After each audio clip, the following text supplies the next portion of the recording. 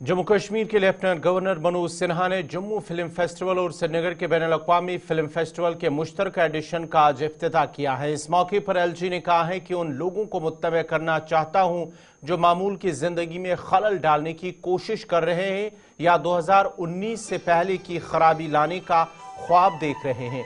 कानून नाफिज करने वाले इदारे भारत मुखालिफ अनासर और इलाहदगी पसंदों के माहौलियाती निज़ाम पर नज़र रखे हुए हैं।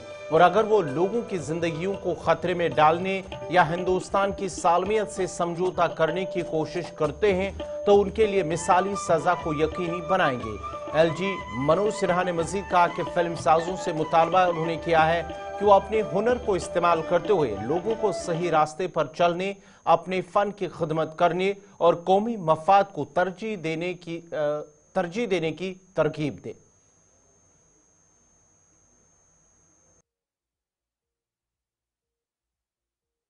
मैं मानता हूँ कि पीस वाइब्रेंट फ़िल्म कल्चर और इकोनॉमिक प्रॉस्पेरिटी ये तीनों आपस में इंटर कनेक्टेड है। और जो लोग इस शांति में खलल पैदा करना चाहते हैं मैं समझता हूँ इस, इस जीवंतता और सामान्य जीवन को बाधित करने की कोशिश करते हैं।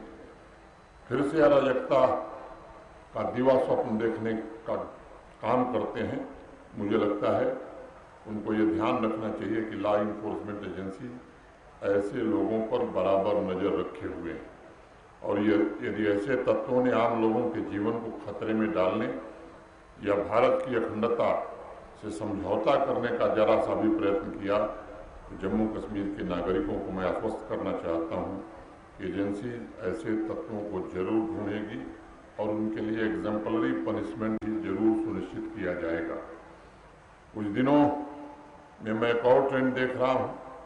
कुछ लोग समाज को धोखा देने और जनता के बीच असंतोष पैदा करने की भी नई कोशिश प्रारंभ कर रहे हैं। संविधान ने सभी को बोलने और अभिव्यक्ति की स्वतंत्रता ज़रूर दी है। लोगों का उसको, लोगों को उसका प्रयोग प्रयोग करने का पूरा अधिकार भी है। लेकिन संविधान ने देश की एकता, अखंडता को ध्यान में रखते हुए कुछ वाजिब और उचित प्रतिबंध भी लगाए अगर फिर से कुछ लोग इस तरह का प्रोपगंडा चलाने की कोशिश कर रहे हैं। तो मुझे लगता है कि कानून के मुताबिक उनके विरुद्ध भी कठोर से कठोर कार्रवाई ज़रूर होगी, इसमें किसी को कोई संदेह नहीं होना चाहिए। आप सब जानते हैं कि पिछले कुछ वर्षों में देश के भीतर तथा वैश्विक व्यवस्था में हो रहे परिवर्तन की आड़ में कुछ लोग समाज का मनोबल तोड़ने की कोशिश करते हैं। ऐसे लोगों से समाज को भी सावधान रहना चाहिए और फ़िल्म से जुड़े लोगों से तो मेरा विशेष आग्रह होगा कि आपको भी इस ज़िम्मेदारी का निर्वहन करना चाहिए। आप कर्तव्य निष्ठा से समाज को सही रास्ते पर चलने के लिए प्रेरित करेंगे, इसका मुझे